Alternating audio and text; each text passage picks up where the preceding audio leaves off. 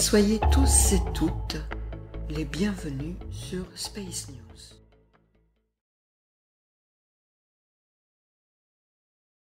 Je vous souhaite la bienvenue. Je suis de nouveau ravie d'être avec vous ce soir pour une nouvelle aventure extraterrestre.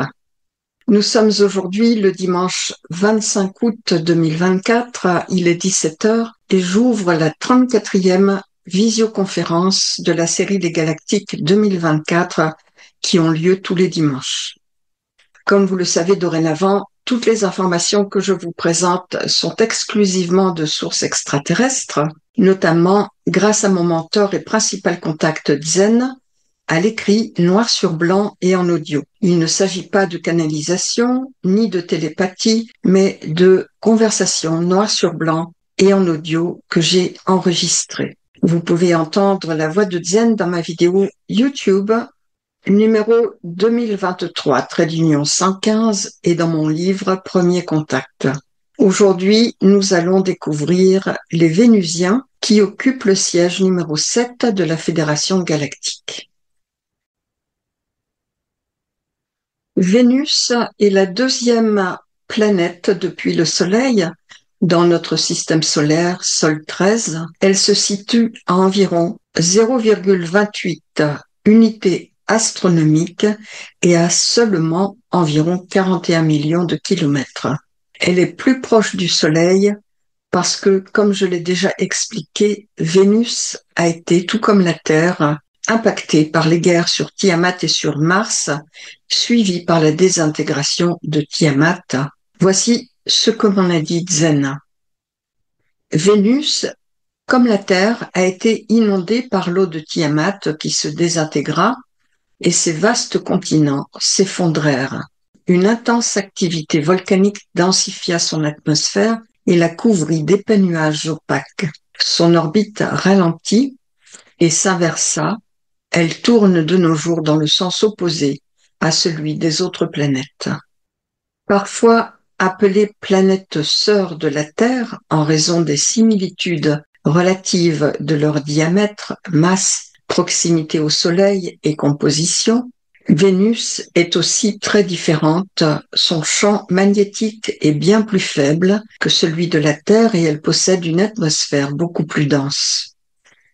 Vénus est très proche de la Terre et a été un objectif privilégié pour les premières explorations spatiales terrestres. En 1950, c'est pendant la guerre froide et la course à l'espace qui s'instaure entre les USA et la Russie que la Russie développe un grand intérêt pour la planète Vénus.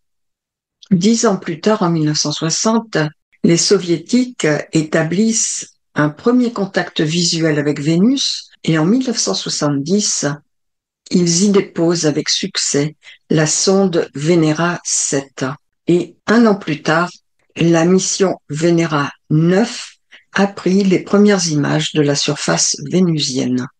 La colonisation soviétique de Vénus a commencé en 1985 par la Russie qui établira une présence permanente sur la planète Vénus les principales puissances terrestres sont installées sur la planète et elles continuent de détenir des colonies dont certaines sont sous contrôle conjoint avec d'autres nations de la Terre au sein du consortium terro-extraterrestre.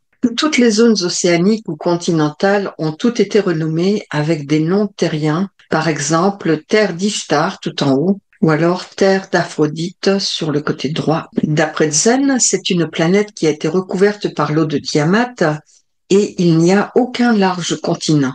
Il n'existe que de larges îles. C'est une planète paradis de style tropical, très confortable, avec un temps chaud et doux. Il n'y a pas d'orages extrêmes et elle a une activité non tectonique moyenne. Certaines des îles sont nommées d'après les noms terrestres, par exemple le Nouveau-Kamtchatka fait référence à la péninsule russe, zone où il y a de nombreux phénomènes étranges et de nombreux vaisseaux spatiaux. Au milieu de la carte, la zone blanche appartient à l'état scientologique de l'Église scientologique depuis 1990 pour les nouveaux résidents scientologues. Cassini se trouve en bas à gauche fait référence à une partie appartenant aux Français et aux Allemands. C'est une propriété conjointe. La famille Cassini est une famille d'origine italienne, naturalisée française, ayant compté parmi une lignée père-fils de quatre astronomes et cartographes renommés. On leur doit, entre autres, de nombreux travaux d'astronomie. Nova Britannica, la Nouvelle-Bretagne, la Grande-Bretagne. Kennedy est une zone américaine. Albany appartient à l'Écosse. Buffalo appartient au Nouveau-Québec. Saigo au Japon, la Chine et la Corée. Parlons maintenant des Vénusiens. Ils font partie de la lignée des humanoïdes célestes, en compagnie des Agarthiens que nous allons voir bientôt, les Terriens, les Alphratiens centauriens de Tossetti, les Ariens d'Orion, les Humites de Wolf 424, les Sassani du Triangle, des Antariens d'Antares, des Syriens de Sirius et des Pléiadiens de l'amas des Pléiades dans le taureau. Les Vénusiens ont été chassés vers d'autres lieux, c'est-à-dire les natifs qui habitaient sur Vénus à l'origine, ou des zones inaccueillantes par les nouveaux conquérants de Vénus, un peu comme les Indiens d'Amérique aux USA. Ils les ont chassés vers d'autres lieux ou des zones inaccueillantes et les natifs sont devenus des immigrés sur leur propre planète et ils vivent souvent dans des conditions déplorables. Des matériels récupérés pendant des guerres terrestres, comme pendant la guerre du Vietnam, ont été volés sur Terre avec quelquefois toute une armée et relocalisés sur Vénus dans certaines zones pour continuer la colonisation. Et il est une histoire sur Terre que tout un bataillon avec des chars avait disparu et personne ne les a jamais retrouvés. C'est d'après mes contacts qu'ils ont été tous abductés avec leurs chars et leur matériel et déposés sur Vénus, où ils ont continué à combattre pour les USA.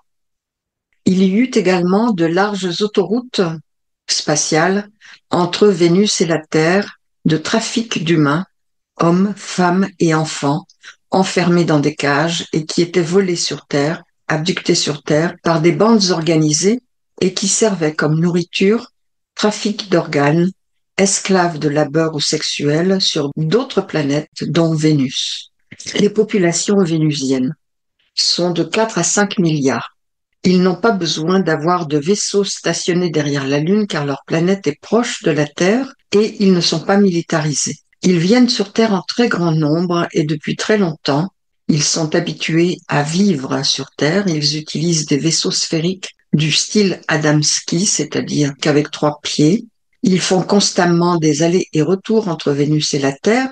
Et lorsqu'ils viennent sur Terre, souvent via l'Antarctique, ils accueillent à bord les agarthiens des bases souterraines qui utilisent euh, des vaisseaux spatiaux comme mode de transport vers Vénus et d'autres planètes les villes. Ils ont développé quelques villes assez grandes, des villages, des villes moyennes, de forme ronde. Les Vénusiens, avant leur colonisation, adoraient venir passer du temps sur les plages terriennes, notamment Saint-Tropez. Ils ressemblent tellement aux terriens qu'ils ne se font pas remarquer. Ils adorent aussi les glaces, notamment le sorbet au citron, qui est aussi ce que préfère Zen. Leur régime alimentaire, ils mangent des légumes, des fruits, des aliments industriels, des produits de la mer et beaucoup de poissons. Leur ADN, ils sont génétiquement identiques aux terriens. Leur apparence est également identique à celle des terriens. Ils sont environ 50% caucasiens, 50% de latinos.